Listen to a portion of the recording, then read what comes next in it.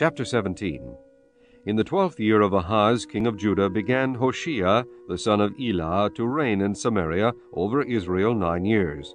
And he did that which was evil in the sight of the Lord, but not as the kings of Israel that were before him. Against him came up Shalmaneser, king of Assyria, and Hoshea became his servant, and gave him presents. And the king of Assyria found conspiracy in Hoshea, for he had sent messengers to So, king of Egypt, and brought no present to the king of Assyria, as he had done year by year.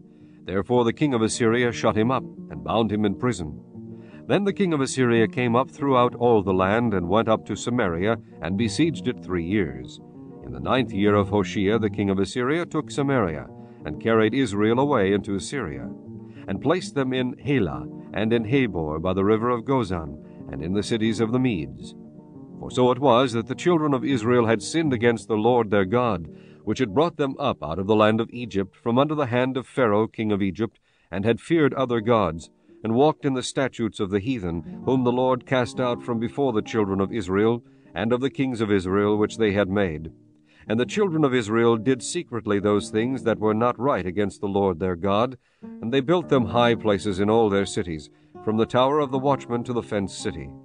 And they set them up images in groves in every high hill and under every green tree. And there they burnt incense in all the high places, as did the heathen, whom the Lord carried away before them, and wrought wicked things to provoke the Lord to anger. For they served idols, whereof the Lord had said unto them, Ye shall not do this thing.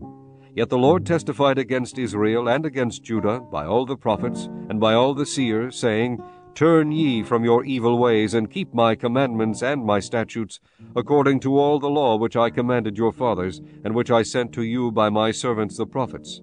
Notwithstanding they would not hear, but hardened their necks, like to the neck of their fathers that did not believe in the Lord their God. And they rejected his statutes, and his covenant that he made with their fathers, and his testimonies which he testified against them.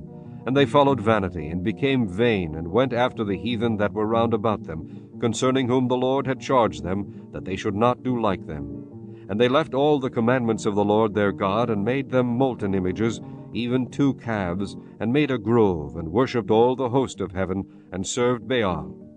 And they caused their sons and their daughters to pass through the fire, and used divination and enchantments, and sold themselves to do evil in the sight of the Lord, to provoke him to anger. Therefore the Lord was very angry with Israel, and removed them out of his sight. There was none left but the tribe of Judah only. Also Judah kept not the commandments of the Lord their God, but walked in the statutes of Israel which they made. And the Lord rejected all the seed of Israel, and afflicted them, and delivered them into the hand of spoilers, until he had cast them out of his sight. For he rent Israel from the house of David, and they made Jeroboam the son of Nebat king. And Jeroboam drave Israel from following the Lord, and made them sin a great sin. For the children of Israel walked in all the sins of Jeroboam which he did, they departed not from them, until the Lord removed Israel out of his sight, as he had said by all his servants the prophets. So was Israel carried away out of their own land to Assyria unto this day. And the king of Assyria brought men from Babylon, and from Cutha, and from Ava, and from Hamath, and from Sepharvaim, and placed them in the cities of Samaria instead of the children of Israel and they possessed Samaria, and dwelt in the cities thereof. And so it was at the beginning of their dwelling there, that they feared not the Lord. Therefore the Lord sent lions among them, which slew some of them. Wherefore they spake to the king of Assyria, saying, The nations which thou hast removed, and placed in the cities of Samaria, know not the manner of the God of the land. Therefore he hath sent lions among them, and behold, they slay them, because they know not the manner of the God of the land. Then the king of Assyria commanded, saying, Carry thither one of the priests whom ye brought from thence, and let them go and dwell there, and let him teach them the manner of the God of the land. Then one of the priests whom they carried away from Samaria came and dwelt in Bethel, and taught them how they should fear the Lord. Howbeit every nation made gods of their own, and put them in the houses of the high places, which the Samaritans had made, every nation in their cities wherein they dwelt. And the men of Babylon made Succoth Benoth, and the men of Cuth made Nergal, and the men of Hamath made Ashima. And the Avites made Nibhaz and Tartak, and the Sepharvites burnt their children in fire to Adrammelech, and Anammelech, the gods of Sepharvaim. So they feared the Lord, and made unto themselves of the lowest of them priests of the high places, which sacrificed for them in the houses of the high places. They feared the Lord, and served their own gods, after the manner of the nations whom they carried away from thence.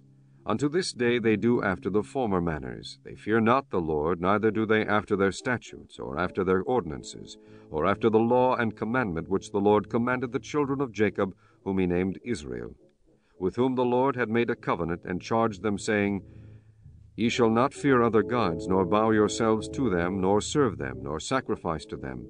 But the Lord, who brought you up out of the land of Egypt with great power and a stretched out arm, him shall ye fear, and him shall ye worship, and to him shall ye do sacrifice. And the statutes, and the ordinances, and the law, and the commandment which he wrote for you, ye shall observe to do for evermore, and ye shall not fear other gods. And the covenant that I have made with you ye shall not forget, neither shall ye fear other gods. But the Lord your God ye shall fear, and he shall deliver you out of the hand of all your enemies.